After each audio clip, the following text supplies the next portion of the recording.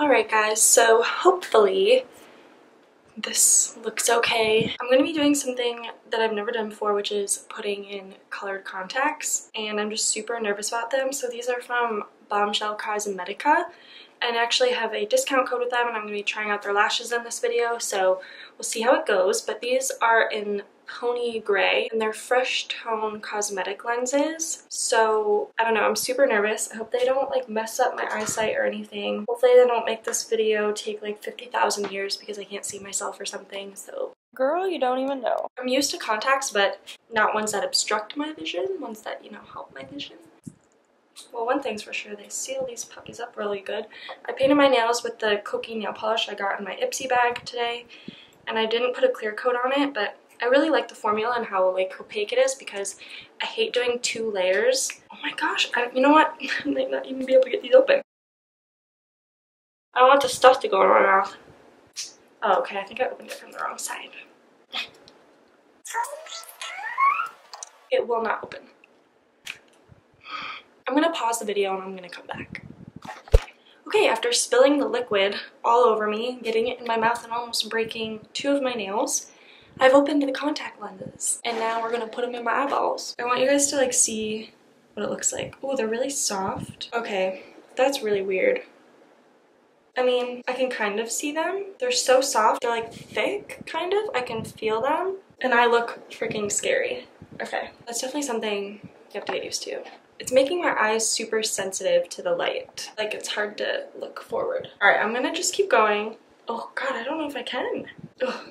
Okay, so one thing I've been really obsessed with lately for priming is the NYX Hydra Touch. Like not, well, kind of a lot, but not too much. And then I take my Farsali Rose Gold Elixir, shake it up a bit, and then I put a couple drops on my face.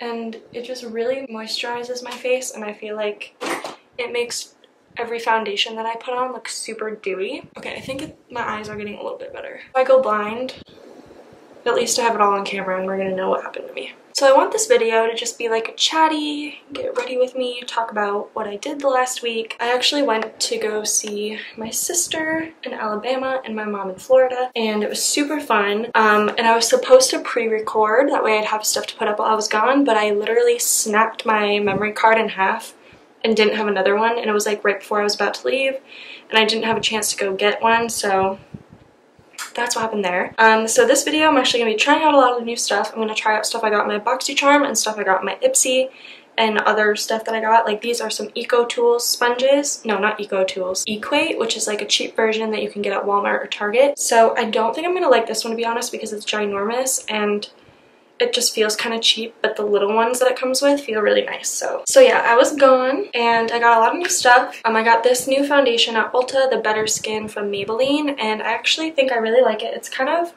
matte, which is not what I usually go for, but I think it has a really nice, like, naturally finish. I don't even know, it just feels like so weird being in front of the camera after two weeks, basically, like, feels like I haven't sat down and, like, a year or something. It just feels so weird. Um, I'm so excited to be doing it again. I, I love the whole process of filming and sitting down and taking my time, doing my makeup, planning stuff out, doing creative things. So I really missed it.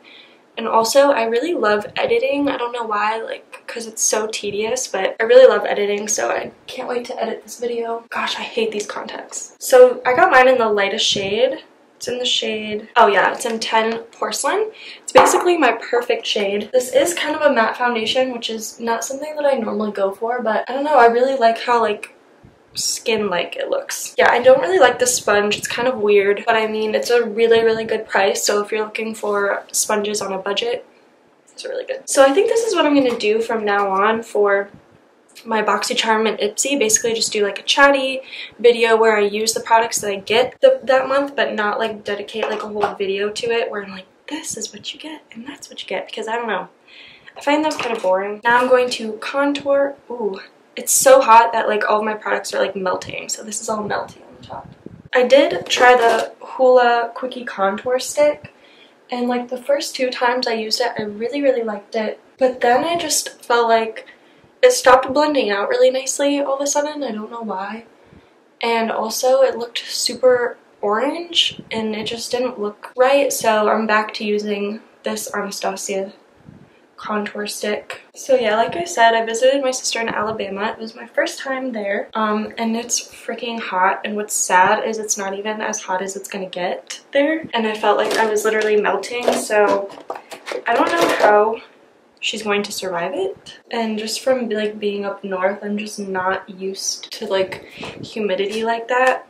And it's just it's all day, all night. It's just always hot. But I spent so much time in the car this week because it's about a six and a half hour drive to my sister's. So I flew down to see my mom on Friday. We left like at, at 6 a.m. Saturday morning, go to Alabama, and then we obviously had to drive back and like driving to the airport was like an hour and a half so I just spent a lot of time in the car. And it feels good to be home and see my dog. I missed her so much. It was so cute when I came home. She was like crying. So happy to see me. I think I put too much on. Oops.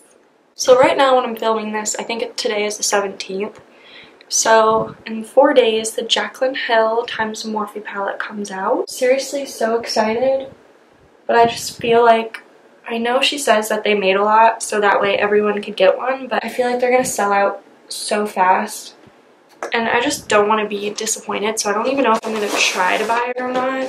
I feel like the website is to crash, and I think they're to sell out just, like, within the first day, for sure. Like, no matter how many you make, she has 4 million followers. You just have to anticipate, like, a lot of those followers are to want the palette. I really do want to get it and I feel like it has a lot of unique colors in it, like ones that I don't have, especially those like the bottom um, left section with the blues. Really unique and I really, really love, I think the one called Jada and Pool Party. Those are so pretty. I really, really want those, but I don't know. I'm not, I don't want to set myself up for disappointment and try to get it. Now I'm going to use the bronzer in this palette, which is what I always use now. I kind of want to recreate the look that Jeffree did with the Kylie palette that just came out. Like she had a whole new collection come out and I think it's really nice but I'm just never going to buy any of her products because I've heard too many horror stories and I just don't want I don't want to deal with paying for something and then not getting it for weeks and weeks or just not getting it period. So I don't think I'm ever going to purchase Kylie Cosmetics, but it is really pretty. And the blue shade he used on his bottom lash line is actually a shade that I got in my Ipsy bag.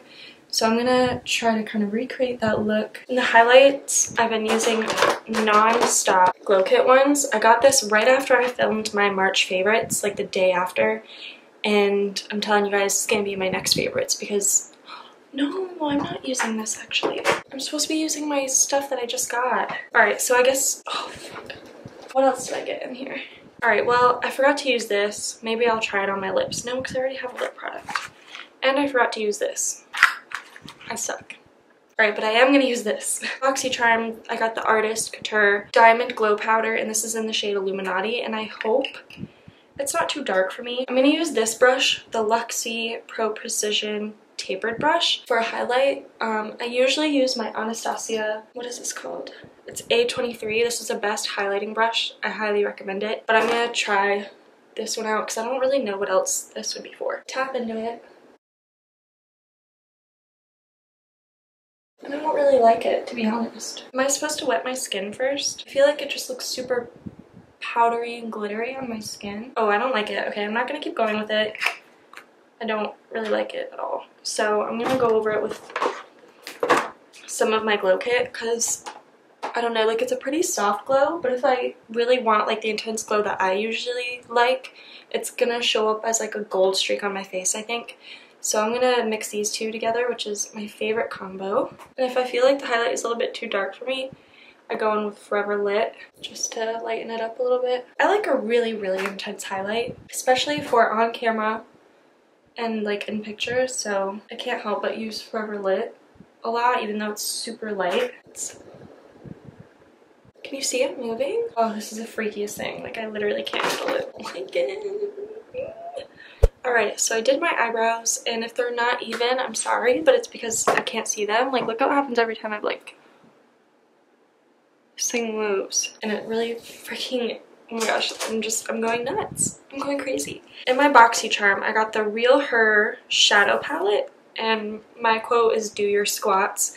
This is in the palette number two, so it's got more like purpley browns in it. I'm going to just dust the shade Driven, which is this one all over my lids. I'm not going to do anything too fancy on my lids because I want the focus to be the bottom lid or the bottom lash line, whatever. I don't even know what I'm saying. I feel like, I feel like I'm just so weird right now. Okay, so I'm going to put a little bit of I'm gonna put some awesome in the crease. The only one kind of like light enough to be to be a crease color. um, it is a pretty color, but I feel like it kind of stuck down where I set my brush and then like was kind of difficult to blend out after that so we'll see how it goes I guess. I really like this shade actually. It's a little bit dark for a crease color and then I'm going to take a little bit of Invincible. This one I think. No, that's unshakable. Invincible with a more precise brush. Go a little bit below that just to define the crease. Alright, so I do like that. So I'm going to take a more dense brush and put Limitless on my lid. That's really powdery, so it's pretty, but it's not like super intense, which I actually like for this look. I just don't understand why this one's perfect and this one's so uncomfortable. I'm going to take this like flat brush and I'm going to take this City Color Cosmetics Shimmer Shadow. This is in the shade Beach Cottage and I'm going to smudge this on my lower lash line. When I swatched this on my hand, it was super pigmented. Smudge this on my lower lash line and see if I need to use like a setting spray or anything. Oh, I didn't think about if it would clash with these contacts or not. I just think this is such a cool way to do a pop of color. It's a trend going on. And honestly, I'm gonna have to go on their website and list what they are called, the ones that I end up using down below, because the one downside is that there's no names on the packaging. They all just say Bombshell. And they all say the same thing on the back, so I mean, that's fine, but it's hard for me to tell you guys which ones I use, so I am gonna have to look that up. I think I'm going to use these. The new lash glue that I got is the Kiss Strip Lash Adhesive in the shade Clear. It's formaldehyde free, latex free, and it has aloe in it apparently. Um, I really wish that all of the Duo lash glues came with an applicator like this because I feel like that just makes it so much easier. So I'll see if I actually like the glue itself. It's just so easy to control how much glue you put on it with this little applicator. I feel like the thin deposit of glue that this puts on your lash makes it stick faster because you're not like gooping up with glue. These are gorgeous. I'm obsessed actually. These are actually going on super easy. Alright, so those are gorgeous. I cannot see, so hopefully they're okay. And then for my lips, I'm so excited to try this. It's the Ofra Cosmetics Liquid Lipstick. And I've never tried this before, but I've heard the formula is amazing, so I'm so excited. This is in the shade, I think it's called Tuscany, but it doesn't say on the bottle. So we're gonna go with Tuscany and I'll list it down below. Very creamy. So this formula actually feels pretty similar to the Huda Beauty one in my opinion, but it's so lightweight, really opaque, goes on so easily. So I hope my lashes are sticking. If I could see them, I would know. But um, overall, I like literally everything I used except for the Artist Couture Diamond Glow Powder. I did not like this, too dark for my skin tone. I'll probably give this away to someone because it's not like I stuck my fingers in it. I could probably put this in a giveaway. It's clean, sanitary. And honestly, I, I don't like the contacts. I feel like they're just so uncomfortable and I just literally can't see. Um, I think I would put them on for makeup looks, like if I were to take a picture I would put them on, I guess, since I have them. But, I mean, I easily think I could make my eyes look this color with Facetune. Um, I've never tried it before. Usually I just lighten my eye color so that way they're just brighter. I don't change my eye color, but I'm sure I I could do that. So I honestly don't know if I would ever get colored contacts again. But I really like this look and I like this trend. I really, really like the City Color Cosmetics Shimmer Shadow. I kind of wonder what the price point is. I'm gonna have to look it up. I think it has really great pigmentation and it looks honestly more pigmented than that Kylie Cosmetics shadow. So I think this could be like a good dupe for that um, if you're looking for this kind of look. And I also really, really like these lashes.